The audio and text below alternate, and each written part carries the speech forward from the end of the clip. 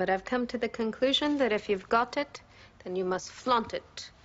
That's my niece in that belly. She's my niece, too. Hi, niece.